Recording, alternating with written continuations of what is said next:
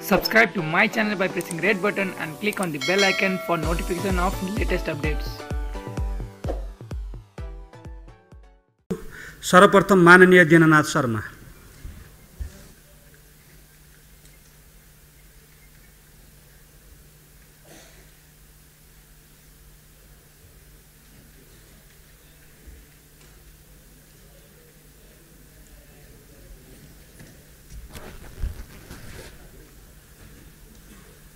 सम्माननीय अध्यक्षज्यू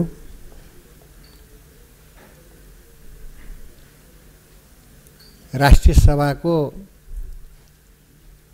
पाँचौँ अधिवेशनको आँगनमा हामी पाइला टेकेका छौँ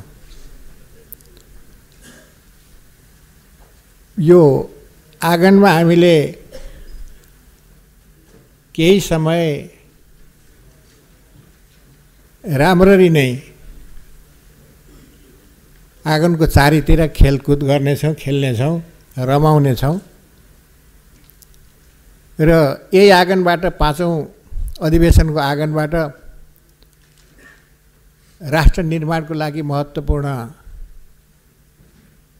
इतिहास पनि सिर्जना गर्नेछौँ ऐतिहासिक महत्त्वका विधेयकहरूलाई हामीले पारित गर्नेछौँ र कतिपय विधेयकहरूलाई समृद्ध गर्नेछौँ। आज पाँचौँ अधिवेशनमा प्रवेशको यस अवसरमा यो अधिवेशन विगतका अधिवेशन जस्तै र त्योभन्दा पनि उच्च स्तरले शानदार रूपमा सफलतामा पुग्नेछ र त्यसलाई पुर्याउनको लागि सम्पूर्ण मान्य सदस्यज्यूहरूको सहयोग हुनेछ साथ रहनेछ। त्यसका लागि यहाँहरू सबैलाई पाँचौँ अधिवेशनको शुभकामना र स्वागत अभिवादन गर्न चाहन्छु। अध्यक्ष महोदय हामीले केही विधेयकहरू केही महत्त्वपूर्ण विधेयकहरू यस अवसरमा निकास दिनुपर्नेछ। किनभने यो हिउँदे अधिवेशन हो विधेयक अधिवेशन हो।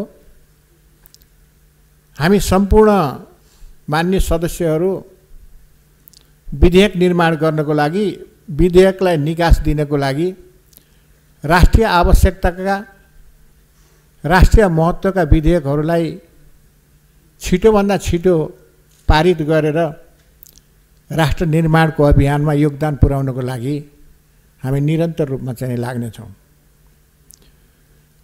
र विगतमा जस्तै जसरी विगत चारवटा अधिवेशन हामीले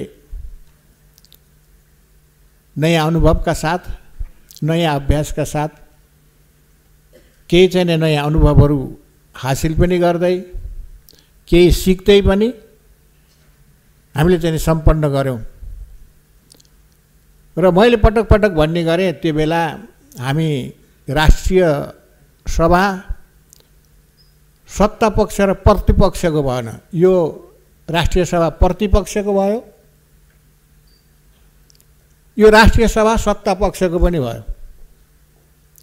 सत्ता पक्षका मर्म र भावनाहरूलाई उच्च सम्मान गर्दै लोकतान्त्रिक विधि र प्रणाली अनुसार हामीले चारवटा अधिवेशनहरू सम्पन्न गऱ्यौँ पाँचौँ अधिवेशन पनि त्यही रूपमा हामीले सम्पन्न गर्नेछौँ अगाडि बढ्नेछौँ र हाम्रो परिपक्वता प्रौढता र यसको राष्ट्रिय सभाको गरिमालाई उच्च राख्नेछौँ भन्ने मैले विश्वास लिएको छु।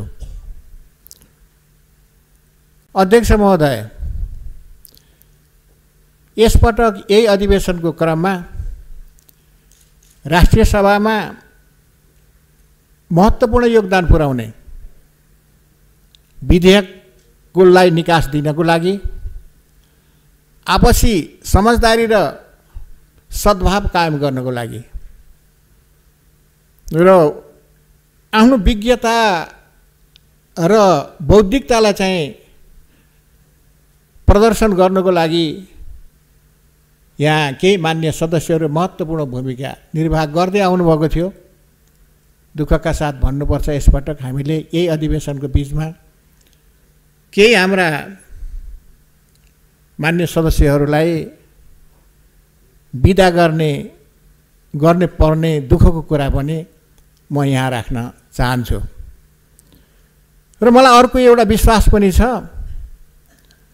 र खुसी पनि लाग्छ केही मान्य सदस्यहरू यस अधिवेशनमा फेरि पनि हामीलाई सहयोग पाँचौँ अधिवेशन सम्पन्न गर्न सफल पार्न सहयोग र मद्दत गर्न र यसको गरिमा उचा गराउनको लागि फेरि दोहोरिएर आउनुहोस् आउनुहुनेछ। मैले उहाँहरूलाई चाहिँ शुभकामना र यो सद्भाव पनि यो चाहिँ साट्न चाहन्छु अग्रिम बधाई र शुभकामना पनि दिन चाहन्छु। अध्यक्ष महोदय अब आउने राष्ट्रिय सभामा आउने मान्य सदस्यज्यूहरू यो राष्ट्रिय सभाको गरिमालाई उच्च राख्ने प्रकारको मान्य सदस्यहरू हामीभन्दा पनि अझ हामी यहाँ भएको भन्दा पनि अझ बौद्धिक अझ अनुभवी अझ विद्वान मान्य सदस्यज्यूहरू आउने हुनेछ उहाँहरूले यो अधिवेशनलाई अझ यसको गरिमालाई अझ उचाइमा पुर्याउनको लागि महत्त्वपूर्ण सहयोग गर्नुहुनेछ मद्दत गर्नुहुनेछ। त्यो दिशामा दलहरूको पनि सबै पक्षको ध्यान जाओस् ध्यान पुगोस्। म सम्माननीय अध्यक्षज्यू मार्फत यो कुरा राख्न चाहन्छु। म फेरि एउटा कुरा के दोहोऱ्याउन चाहन्छु भने हामी यो सरकारले दुई वर्ष बिताएको छ यो सन्दर्भमा। देशको अनुहार जनताको अनुहारमा एउटा नयाँ उज्यालो नयाँ चमक चाहिँ छाउन थालेको छ। आर्थिक हिसाबले आर्थिक समृद्धिको दिशामा देश अगाडि बढेको छ भन्ने सङ्केतहरू अन्तर्राष्ट्रिय वित्तीय संस्थाहरू र राष्ट्र ब्याङ्कका हाम्रा तथ्याङ्क तथ्य तथ्याङ्कहरूले हाम्रो अगाडि पेस गरेको छ प्रस्तुत गरेको छ। यो खुसीको कुरा हो। सरकारले भौतिक संरचना निर्माणको सन्दर्भमा राष्ट्रिय गौरवका आयोजनाहरू सञ्चालन गर्ने सम्बन्धमा महत्त्वपूर्ण कदम अगाडि चालेको छ र केही सम्पन्न भइसकेका छन् केही सम्पन्न हुने क्रममा छन्। यो पनि खुसीको कुरा हो। मैले एउटा अनुभव मात्रै के राख्न चाहन्छु भने प्रधानमन्त्री सामान्य प्रधानमन्त्री केपी शर्मा ओलीज्यूसँग हामी भारत भ्रमणमा पुगेका थियौँ। हैदराबाद हाउसमा सडसट्ठी किलोमिटर लामो पाइपलाइनको शिलान्यास भएको थियो। तिस महिनामा सम्पन्न हुन्छ भनेर त्यहाँ भनिएको थियो। त्यसबेला यो तिस महिनामा कसरी यो सडसट्ठी किलोमिटर पाइपलाइनबाट पाइपबाट पेट्रोलियम पदार्थ नेपाल भित्रिएला? अहिलेसम्मको हाम्रो परम्परा हाम्रो संस्कार हाम्रो संस्कृति भौतिक संरचना निर्माण गर्ने सन्दर्भमा भएका ढिलासुस्तीका कारणले मलाई त्यति विश्वास लागेको थिएन। तर अठार महिनाभित्रै त्यो योजना सम्पन्न भयो। एक अरबभन्दा बढीको ढुवानी खर्च चान्सुन राष्ट्रको चाहिने ढिकुडी चाहिने बच्यो। यो हामी सबैको लागि गौरवको कुरा हो र त्यसपछि धेरै योजनाहरू धेरै योजनाहरू सम्पन्न हुने क्रममा छन् सम्पन्न भइराखेका छन्। राष्ट्रिय गौरवका महत्त्वपूर्ण योजनाको सन्दर्भमा भएका प्रगतिहरू हेर्दा हामीलाई धेरै खुसी लागेको छ। चाहे त्यो भैरवा विमानस्थलको कुरा होस् चाहे पोखरा विमानस्थलको कुरा होस् चाहे अरू यस प्रकारका चाहिँ राष्ट्रिय गौरवका महत्त्वपूर्ण चाहिँ योजनाको सन्दर्भमा होस् कामहरू यो सरकारले प्रधानमन्त्रीज्यूको निर्देशनमा दृढतापूर्वक चाहिँ अगाडि बढ्नुपर्छ बढाउनुपर्छ भन्ने जुन एउटा चाहिँ सङ्कल्प छ त्यो सङ्कल्प साथ अगाडि बढेको छ र नेपाली विज्ञहरूले नेपाली विशेषज्ञहरूले नेपालीहरूकै चाहिँ दिमागले सबभन्दा ठुला योजनाहरू सम्पन्न गर्न सकिन्छ भन्ने विश्वास लागेको छ। अस्ति मात्रै हाम्रो समितिको बैठक के अरे समितिको तर्फबाट हामीले भेरी बबई डाइभर्सनलाई चाहिँ हेर्न गएका थियौँ। त्यसमा तीव्रताका साथ काम सम्पन्न भएको समयभन्दा पहिले नै काम सम्पन्न भएको र आगामी दिनहरू पनि त्यो काम सम्पन्न हुने त्यो स्थिति रहेको कुरा हेर्दाखेरि म व्यक्तिगत रूपमा सम्माननीय अध्यक्ष महोदय हामीले चाहिँ नि हाम्रा युवक इन्जिनियरहरूले हाम्रा विशेषज्ञहरूले योजनाहरूलाई हामीले चाहिँ सही किसिमले चाहिँ निर्देशन गर्न सक्यौँ भने सम्पन्न गर्न सक्छन्। हामी गर्न सक्छौँ र हामीले मात्रै गर्न सक्छौँ। हामीले मात्रै यो देशको चाहिँ मुहार फेर्न सक्छौँ भन्ने यो विश्वास अगाडि बढेको छ।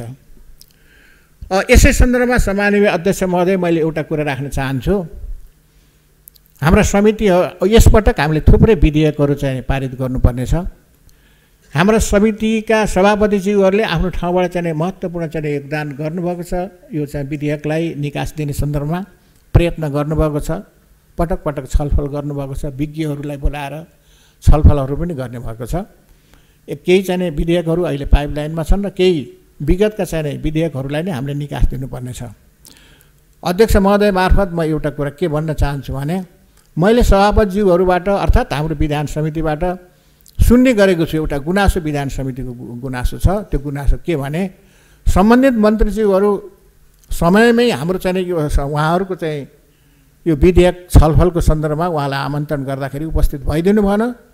यस कारणले हाम्रा विधेयकहरूलाई तदारुकताका साथ अगाडि बढाउनको लागि चाहिँ कठिनाइ कठिनाइ पर्यो भन्ने यो गुनासो सुनिने गरेको छ आउने गरेको छ पटक पटक हाम्रो छलफल पनि हुने गरेको छ।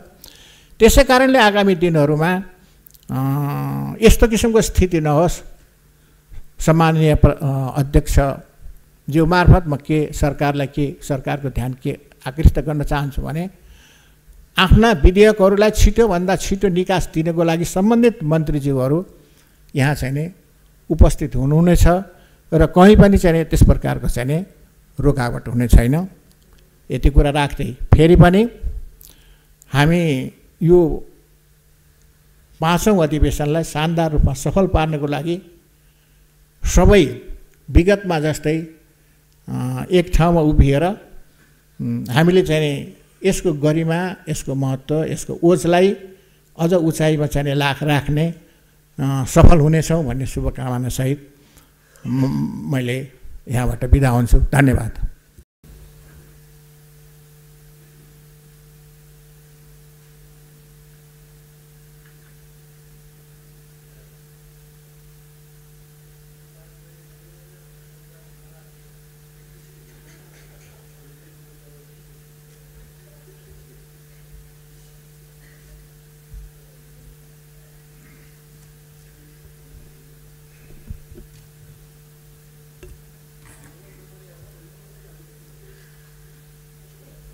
सम्मान्य अध्यक्ष महोदय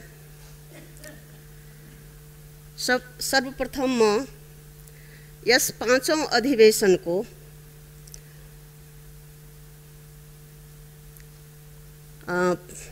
यस पाँचौँ अधिवेशनमा सम्पूर्ण साथीहरूलाई हार्दिक स्वागत गर्न चाहन्छु र साथै यस अधिवेशनको सफलताको कामना पनि गर्दछु। दुई वर्ष मात्र समय अवधि भएका साथीहरूले पुनः निर्वाचित भएर आउन हार्दिक शुभकामना व्यक्त गर्द गर्दछु र बेस्ट अफ लक पनि भन्न चाहन्छु। यस अधिवेशनमा मैले धेरै नै अपेक्षा गरेकी छु। नेपाल सरकारले समाजवादी पार्टीसँग गरेको संविधान संशोधन सम्बन्धी सम्झौताले यस पाँचौँ अधिवेशनमा निश्चित रूपले प्राथमिकता पाउनेछ। शून्य समय र विशेष समयमा यस सभामा उठेका आवाज अथवा जिज्ञासाहरूको कहिले पनि समुचित सम्बोधन नभएकोले यस अधिवेशनमा निश्चित रूपले हुनेछ। सम्मान्य प्रधानमन्त्रीज्यू एवं मान्य मन्त्रीज्यूहरूसँग हुनुपर्ने प्रश्नोत्तर कार्यक्रम यस सदनमा अहिलेसम्म सुरुवात नभएको हुनाले यस अधिवेशनमा निश्चित रूपले प्रश्नोत्तर कार्यक्रम सुरुवात हुनेछ र नियम निलम्बन गरिकन अब कुनै पनि कानुन बन्ने छैन भन्ने कुराको अपेक्षा गर्दछु। संवैधानिक आयोग कूटनीतिक नियोग एवं राजनीतिक नियुक्तिमा समानुपातिक समावेशीको सिद्धान्त अनुसार प्रतिनिधित्व गराउन सरकारको कुनै किसिमको पहल नदेखिएको र संवैधानिक निकायहरूमा राजनीतिक भागभण्डाको आधारमा नियुक्ति भएको हुँदा सर्वसाधारण नेपाली नागरिकले न्यायोचित अधिकार पाउन सकेको छैन। संविधानले ग्यारेन्टी गरेका अधिकार पनि हनन गरी मन्त्रालयहरूले सदन समक्ष विधेयक पेश गरिरहेको अवस्था छ र संशोधन हाले पनि हुनुपर्ने सुनवाई भइरहेको छैन। मधेस आन्दोलनमा मधेस आन्दोलन लगायत अधिकार प्राप्तिका लागि भएका अन्य आन्दोलनमा भएका शहीदका परिवार घाइते र बिना कसुर मुद्दा लगाइएका आन्दोलनकारीहरूले अहिलेसम्म न्याय पाएका छैनन्। बलात्कार हत्या हिंसा एवं अन्य आपराधिक क्रियाकलाप जस्तै एनसेल काण्ड वाइड बडी काण्ड सुन काण्ड जग्गा अतिक्रमण काण्ड जस्ता भ्रष्टाचारमा संलग्न वास्तविक अपराधीहरूलाई अहिलेसम्म पनि कानुनी दायरामा ल्याउन सकिएको छैन। मधेसमा अहिले शीतलहरको कारणले विपन्न परिवारलाई बाँच्न कठिन भएको हुँदा राज्यले गर्नुपर्ने व्यवस्था सकेसम्म चाँडै मिलाउन माग गर्दछु। प्रदेशहरूलाई अधिकार सम्पन्न बनाउन विगतमा देखिएका कमी कमजोरीलाई हटाउन समृद्ध नेपाल र सुखी नेपाली बनाउन नेपाल सरकारको ध्यान आकृष्ट गराउँदै यस अधिवेशनको पुनः सफलताको कामना गर्दै म आफ्ना भनाइहरू यहीँ समाप्त गर्दछु। धन्यवाद।